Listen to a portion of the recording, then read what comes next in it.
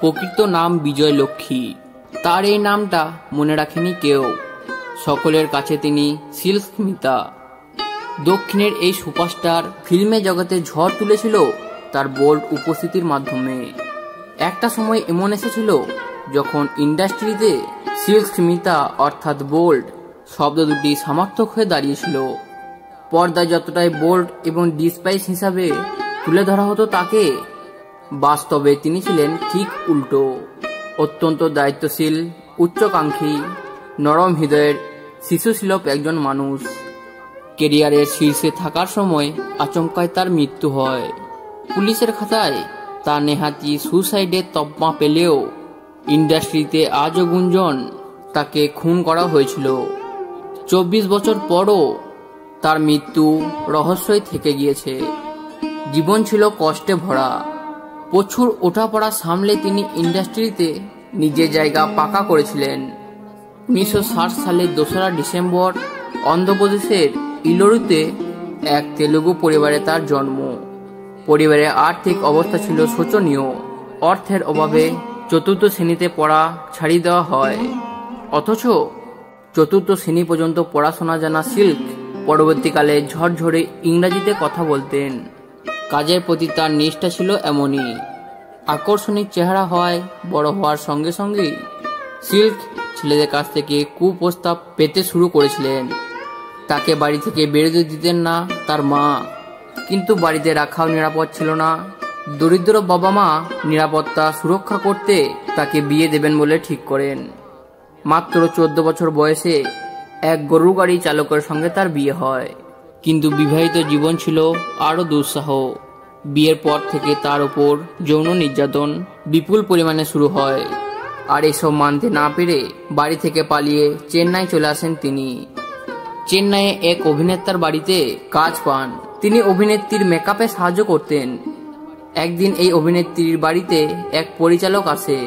তার বড় গাড়ি দাঁড়িয়ে থাকতে দেখছিলেন সিল্ক। এ নিয়ে অভিনেত্রী তাকে ব্যঙ্গ করেন। সিল্ক পত্রির উত্তরে জানান, একদিন এরকম একটি বড় গাড়িতে চেপে তিনি আসবেন, আর সেই গাড়ি তারই হবে। এরপরই দুনিয়ার কাছে নিজের দক্ষতা প্রমাণ করার জেদ চেপে যায় তার। তিনি প্রথমে একটি মালায়লা ছবির ছোট্ট একটি চরিত্রে অভিনয় করার সুযোগ পান। তার অভিনয় দেখে মুগ্ধ হয়েছিল পরিচালক ভিনু চক্রবর্তী। তিনিই ছিলেন সিল্কের মেন্টল। কীভাবে তাকে কথা বলতে হবে, কীভাবে চলতে হবে সমস্ত কিছু ভেনু এবং তার স্ত্রী নিজে শিখিয়েছিলেন। তাদের কাছেই স্কুল ড্রপল সিল্ক ইংরাজিতে কথা বলা শেখেন, নাচও শেখেন। অত্যন্ত দরিদ্র পরিবার থেকে উঠে আসা সিল্কের আদব কায়দা একবারে বদলে যায়। উনিশশো আশিতে তামিল ছবি বান্দি চক্রমে ছিল তার প্রথম ফিল্ম, যাতে তিনি একটি গুরুত্বপূর্ণ চরিত্রে অভিনয় করেন।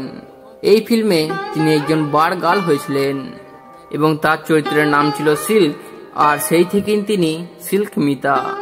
নিজের অভিনয় দিয়ে সিল্ক এতটাই জনপ্রিয় অর্জন করেছিলেন যে, কোনো ফিল্মে তার একটি আইটেম ড্যান্স ঢুকিয়ে দিলেই সেই ফিল্ম হিট হয়ে যেত। এরকমই ছিলেন সিল্ক। তবে তার ভক্তের সংখ্যা যতটা ছিল, বন্ধুর সংখ্যায় ততটা কম ছিল। কম কথা বলা সিল্কের হাতে গোনা কয়েকজন বন্ধু ছিলেন। তাদের কাছ থেকে জানা যায়, সিল্ক ছিলেন শিশুর মতো নরম মনের মানুষ। উনিশশো ছিয়ানব্বই সালে তেইশে সেপ্টেম্বর কেরিয়ারের শিখরে থাকার সময় রহস্যজনকভাবে মৃত্যু হয় তার।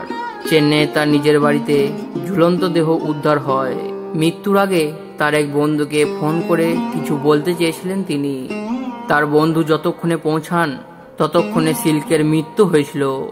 ময়না তদন্তরে তার শরীরে প্রচুর অ্যালকোহল পাওয়া গেছিল এবং এটিকে সুসাইড কেস বলে বন্ধ করে দিয়েছিল পুলিশ। কেস বন্ধ হলেও আজও তার মৃত্যু রহস্য। সিনেমা জগতের অন্যতম আলোচনার বিষয়। কীভাবে এবং কেন মৃত্যু হলো শিল্পস্মিতার সেই রহস্য রহস্যই থেকে গেল। হয়তো কোনোদিন সমাধানই হবে না। তো বন্ধুরা, আজ গল্প এই পর্যন্ত।